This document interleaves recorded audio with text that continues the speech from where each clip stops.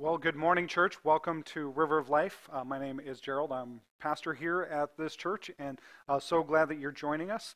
Uh, one of the things we are doing right now is we are going through a Advent series called "Behold, a Savior is Born," and uh, today I uh, want to ask you just a simple question: Do you like Christmas surprises? Like, or, or I mean, are you the type of person that loves people just, you know? Throwing things on you just last minute, or are you a planner? Are you the type of person like you, you want to know exactly, okay, we're, we're having eggnog at 7.05, we're, we're doing like, you, you, you've, got, you've got everything down to the wire, everything to the minute. You know, it's like, you, there, I, I feel like there's two different types of people when it comes to that stuff, right? That some people are just, they love the excitement, they love, you know, being surprised. Some people are more, no, you know, don't don't surprise me. Let me know when you're coming over. Let me know when you're planning on leaving. You know, and just you know, just the, you have that in in mind. Uh, we we had kind of some fun this weekend. Uh, my daughter's in a play, and so we surprised her by bringing in my uh, my dad and stepmom and my or my niece, and so uh, she was just absolutely floored. It was not ready for it. It was exciting, um, and and we know like for some of those types of surprises, you have to make it a surprise because my niece didn't know it was a surprise. And like the whole time, it's like, when are we going to see them? When are we going to see them? When are we going to see them? When? It's like you, got, you, you have to plan your surprises right because you don't want the person going, okay, now when? Now when? Now when? You know. And so when we when we look at that, you know, we recognize that that is a big part of what Christmas is about. It's that joy of surprise. It's that joy that there, there's something unexpected, whether it's the present under the tree that you're not quite sure what it is. You know, you shook it, you, you kind of tried to peel the, the wrapping back a little bit, and you, you still, you, you just don't know what that is under the tree. Or, like I said, it might be family members coming along that you weren't expecting. It might be different things that are going on. And, I mean, the truth is, some of them aren't good either. Like, sometimes we're going through Christmas and things happen and we're not expecting it you know, the cake burns, or you know, you, you drop the turkey on the floor, or, or, or whatever the case may be. Like there, there's going to be things that are going to happen, but we, we have to trust that there's, there's still going to be a way to use those things, redeem those things, and, and allow it to be something good for God's glory. Uh, one thing that really, I, am I'm, I'm the planner type, and so I don't like surprises. And so my plan every uh, Sunday is that you would take time and fill out your Connect card. And so if you did not do that already, uh, you still have time. You can turn it in uh, the sound booth or to the coffee station on your way out. If you're joining us online, welcome. We're glad you're here, whether you're joining us on Facebook or our online service. You can do this digitally by texting the word river to 715 953 4060. And you'll get a digital version of that in just a moment, and you can follow along. So, as I mentioned, we are continuing our series about the a Savior is born, and we're looking at the different concepts that Advent is about, the, the ideas that are, every year we kind of go through this rhythm. I mean, we're, we're a little bit ahead of schedule uh, for the normal Advent season, but we are going to look at today the servant love that we find in the Christmas story. Because that was probably one of the most surprising parts about Christmas. It would have been one of the most surprising parts to the Jewish people as they were waiting for the coming of the Messiah.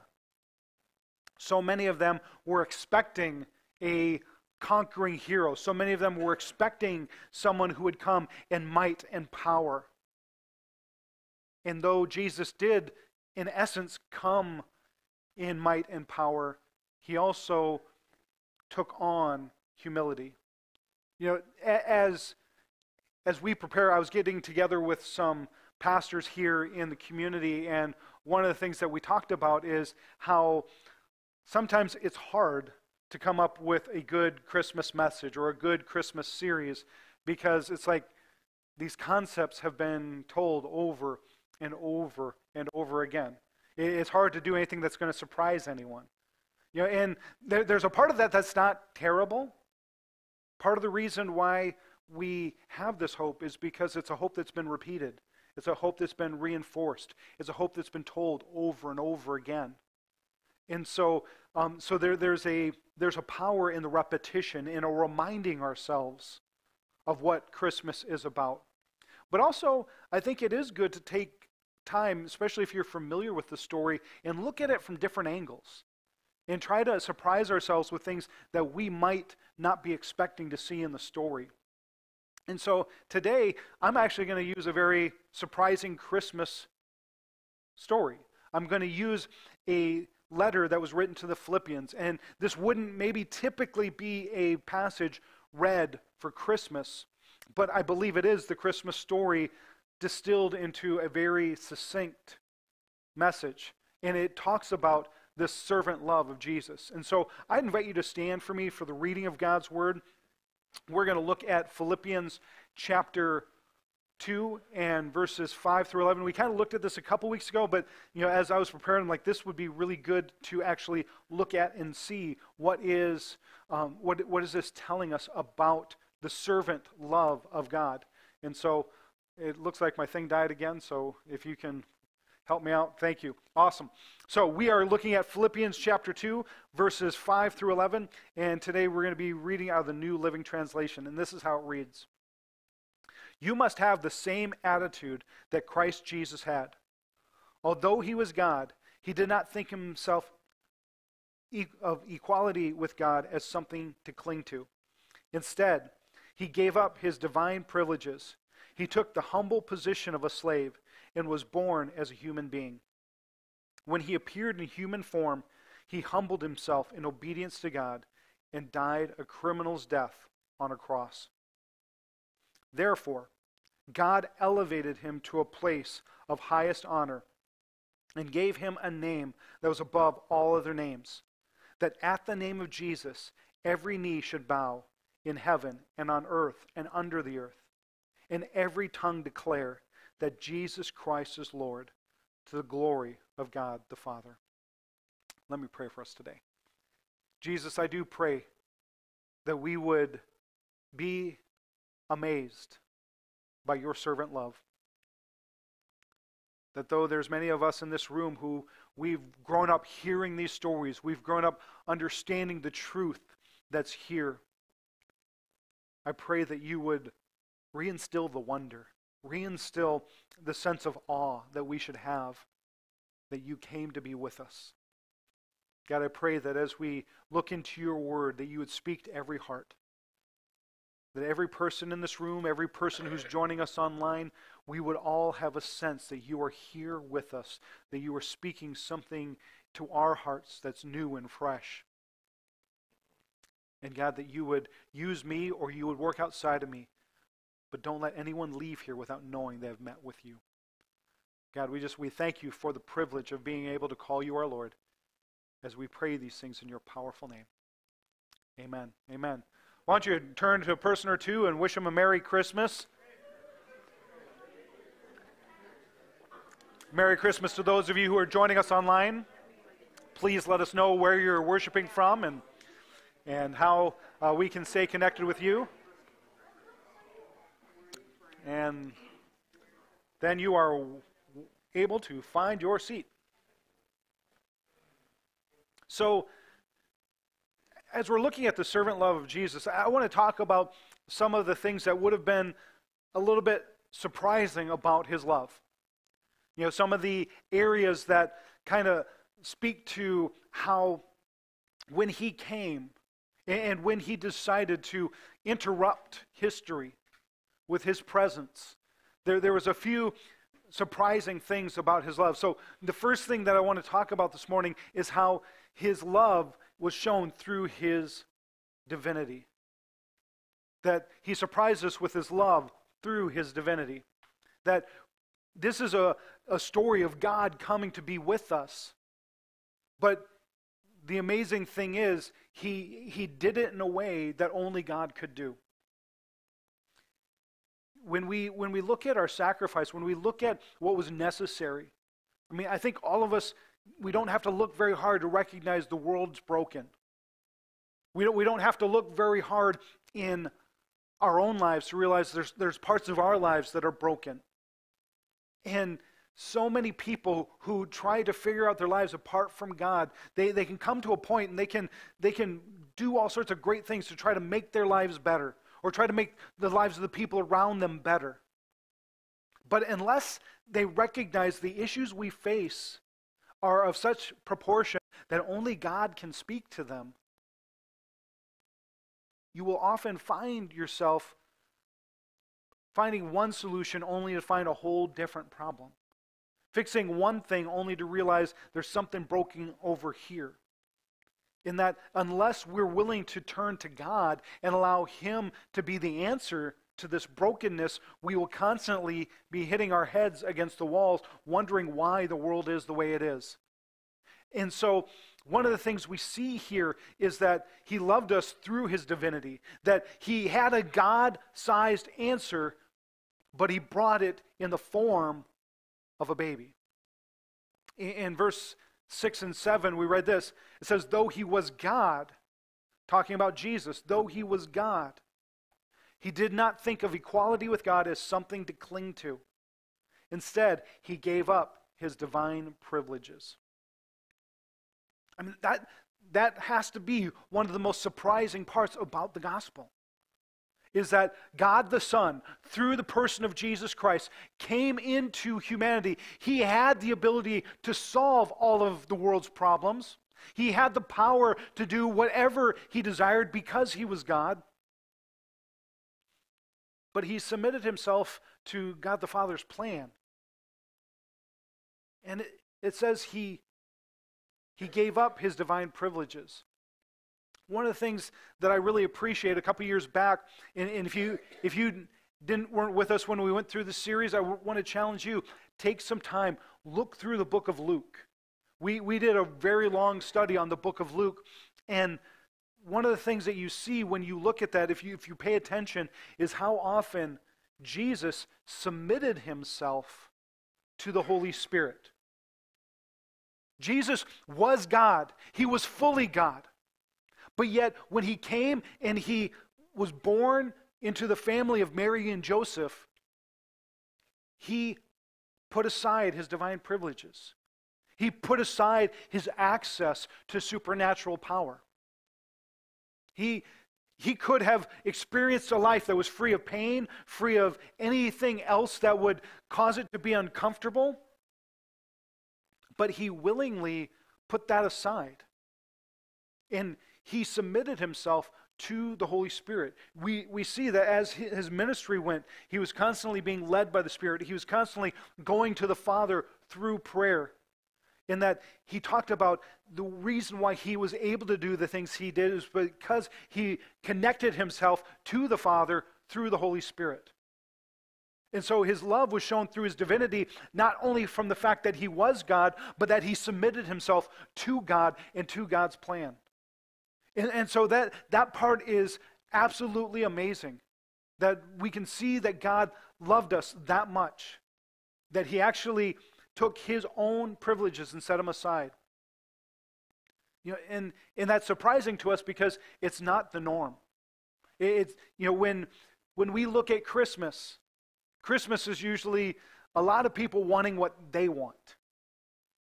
No, I, I want that present. I want that thing. I want it to be hosted at my house. I want to be serving this meal. I want to be serving these things. I want this because it reminds me of when I was young. You know, it's and there there's nothing wrong with trying to recreate tradition and, and trying to produce an atmosphere where Christmas is fun and enjoyable. But one of the most beautiful parts about Christmas, one of the things that can make Christmas more mirror what God designed it to be, is when we choose to put aside our own comfort, when we choose to put aside our own desires, when we, even when we have the ability to be the strongest person in the room, our willingness to be weak for the sake of other people, that's when we really begin to show the world that we have gotten a hold of what Jesus was really about. So he loved us through his divinity. The other thing we see is we see love through his humanity. That when he came to be here on earth, as I mentioned, he chose to completely submit himself to the humanness of what it was to be God. He, he submitted himself to the plan of saying, I'm going to, I'm going to have this experience just like everyone else. In verse 7, we also read this that though that he took the humble position of a slave and was born as a human being. He took this humble position and he allowed himself to be born and to experience what all of us experience birth and family and, and conflict in family and pain and suffering and the loss of family members. I mean, there's, there's a pretty strong nod in the Gospels that at some point he had to have buried Joseph, like his, his, his earthly father. You know, so like he was not exempt from pain, he was not exempt from suffering. And, and he, at just the right time, came into humanity. I, I want to read the Christmas story that we're probably a little bit more familiar with. But as I read this, I want us to think about the fact that Jesus came to be with us. He came to experience all that we came to experience. He came in time and place and among a people and, and in, in a situation that was not the best situation. Yet, that gives evidence of how he loved us through his humanity. Let's go ahead and read this passage in Luke uh, chapter 2. Again, this is the Christmas story. It says, At the time of the Roman Emperor Augustus, decreed that a census should be taken through the Roman Empire. This was the first census taken when Quirinius was governor in Syria. All returned to their own ancestral towns to register for the census. And because Joseph was a descendant of King David, he had to go to Bethlehem in Judea, David's ancient home. He traveled there from the village of Nazareth to Galilee he took with him Mary, who was engaged, who was now expecting a child. And while they were there, the time came for her baby to be born. She gave birth to her firstborn son. She wrapped him snugly in strips of cloth and laid him in a manger because there was no lodging available for them. So, so here we see this story. Here we see that God came to be with us. You know, and I think all of us are familiar with this. All of us are recognize his love through coming to be with us. But I, I think what we need to recognize is again, he didn't he didn't spare himself from what humanity was like. He didn't even, you know, you, you would think if God knew this was happening and God had this plan, he at least would have planned for a hotel room to be ready in Bethlehem or a nice hospital, right? That, that he would have he would have orchestrated the, the world so that the best medical care was available to Mary. But no. She was giving birth in a barn. She was separated from her family. She was in a strange town among strange people who had no compassion on her situation. And this is where Jesus enters the world. And all throughout his ministry, he showed his humanity by willingly choosing to be with us and, and to, to experience the same hardships, the same difficulties that we do. Which kind of brings us to our last thing. Not only did he love us through his divinity, not only did he love us through his humanity, he also loved us through his humility that this God, this creator of the universe, choose to be humble. He chose the position of a servant.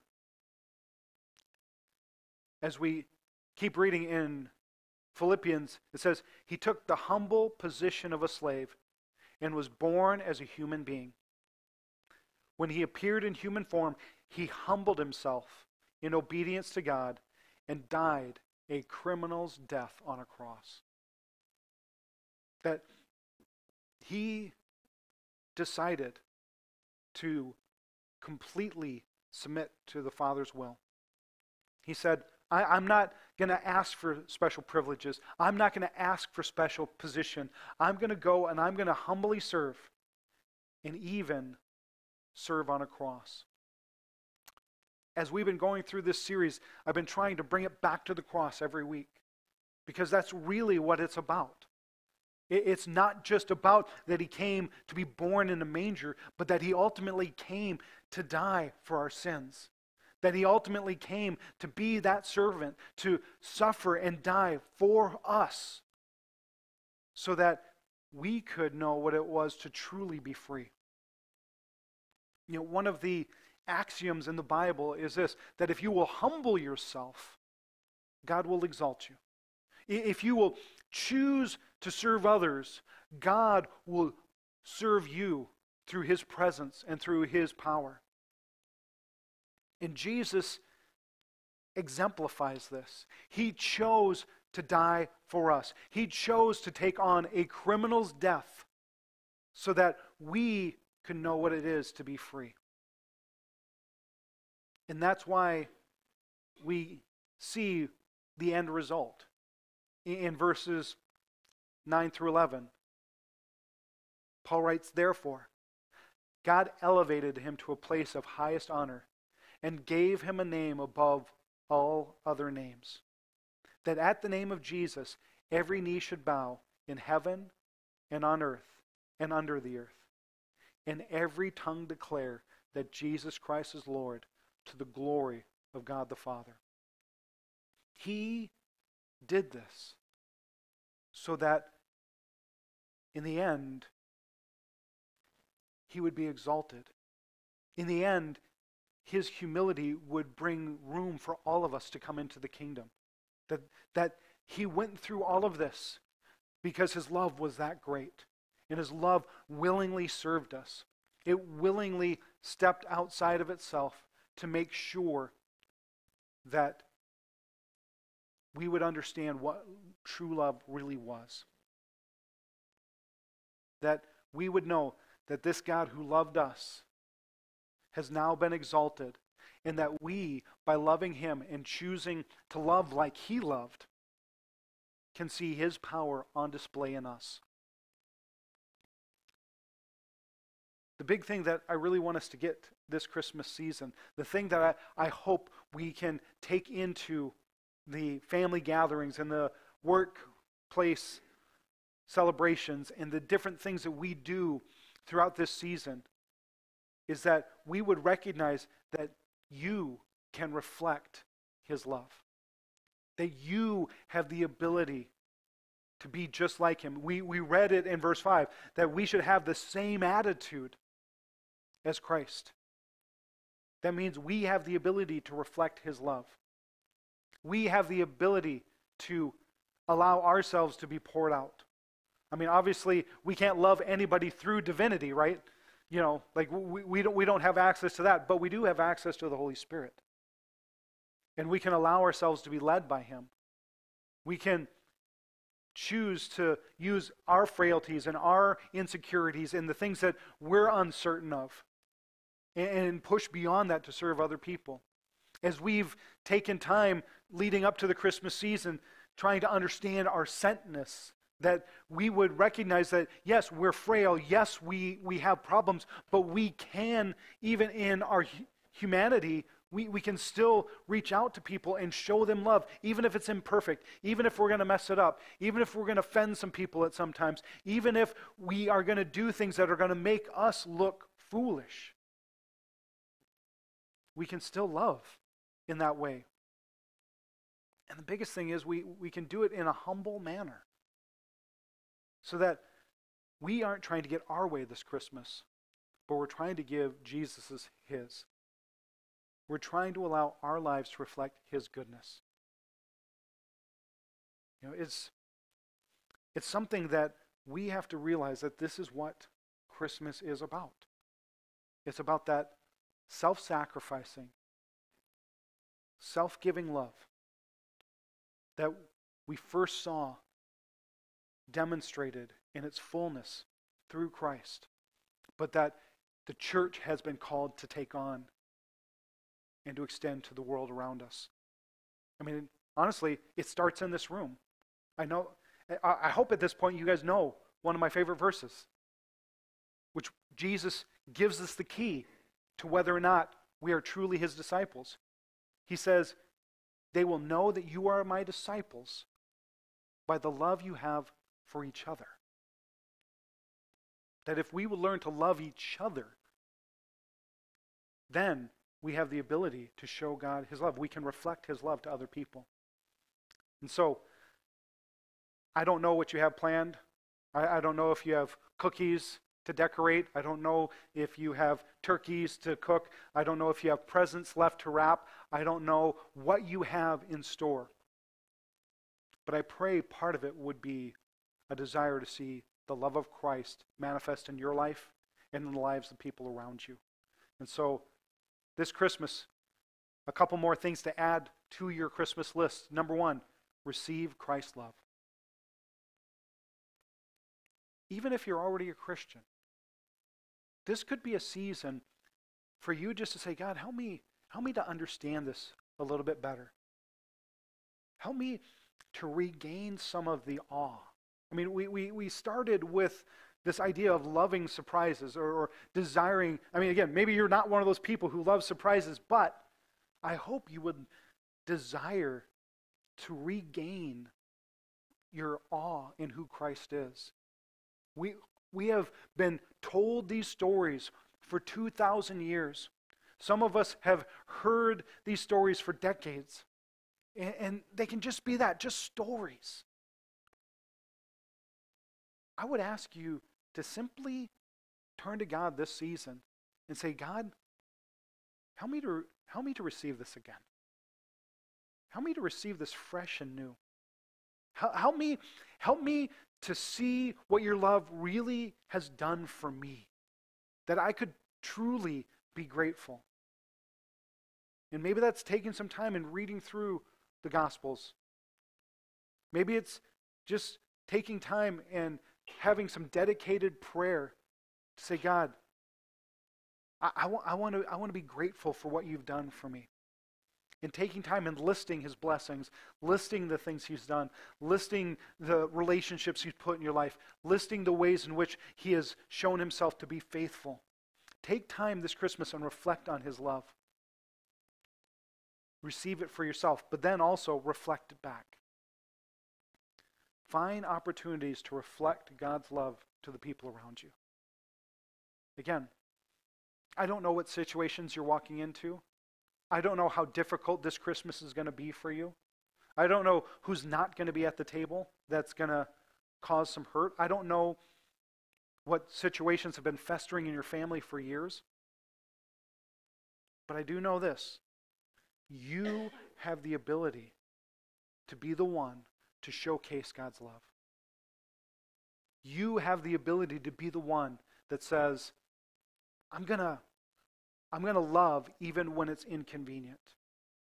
I'm going to be humble even when I know they're the ones that wronged me. I'm going to be willing to serve even if it makes me look like the lesser one. Because that's what Jesus did. And that's why he's still so hard to get our minds around. That's why for 2,000 years, this mystery of God with us has yet to penetrate every heart. Because it is so against everything we've ever experienced. But the beautiful part is, we're promised, as we already read, that one day every knee will bow, every tongue will confess. The only question is, how many of them will do it now because of you? How many of them will be able to see Christ live out his love through your life? Because that is what we're ultimately called to do. So, that's what I have for us this Christmas. And I'd really pray that you would look for opportunities to live out this Christmas list. I'm going to invite the worship team to come back up. At this time, I'd also invite you to stand. I just want to pray for us as we go into this Christmas season. Again, we got two, two weeks until Christmas Eve. I hope you're able to join us for a Christmas Eve service. But even if you're not, let's go out and expect that there would be something amazing when we make room for Christ. When we say, I'm going to be the one that will invite Christ in. I'm going to be the one that will let who Christ is affect who I am this Christmas season. and that we would look for those opportunities. So let me pray for us, and then we'll sing one more song. But let me let me let me let us go to the Father right now. Jesus, we thank you.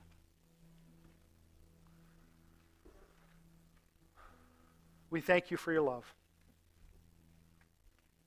We thank you for your goodness. We thank you for the surprising truth that God came to be with us.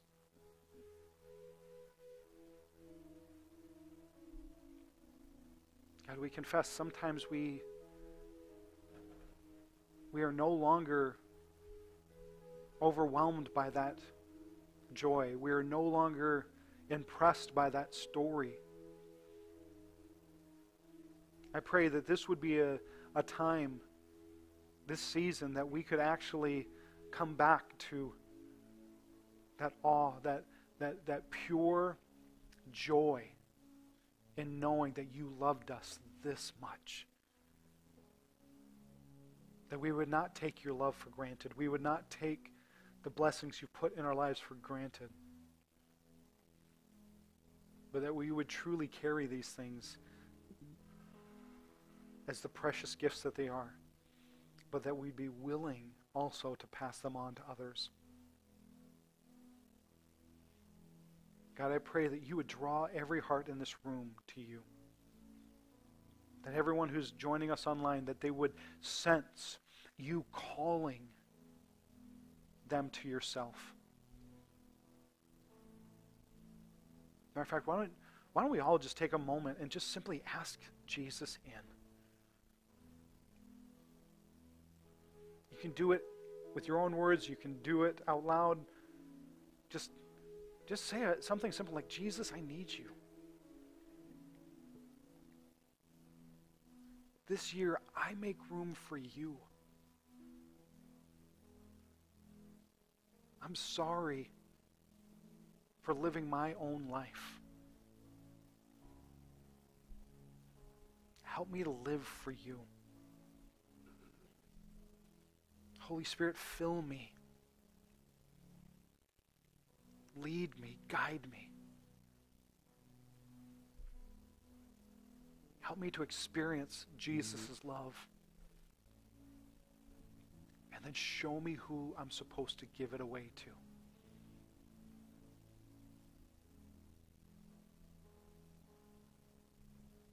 God, I thank you for the new life you've given me. You have all of my life.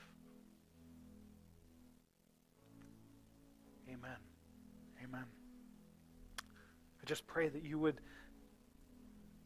walk out of here with that sense. And as we sing this last song, maybe take a moment and, and reflect on what Christ has done for you so that you can better reflect it back to the world around us.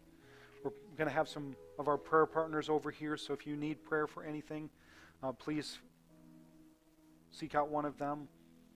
Or again, maybe you just need to take a moment right where you're at and just humbly ask God to be that light in your life, that that would reflect a little bit more every day. Love you guys. Merry Christmas. Hope to see you guys back next week.